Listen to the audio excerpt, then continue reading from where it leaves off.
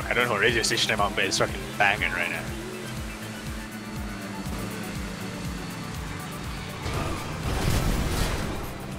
Wow.